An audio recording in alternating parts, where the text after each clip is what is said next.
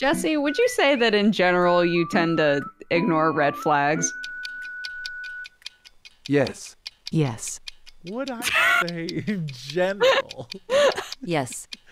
I'll answer that just- by saying I haven't ever seen a red flag. I don't know that I've ever seen one.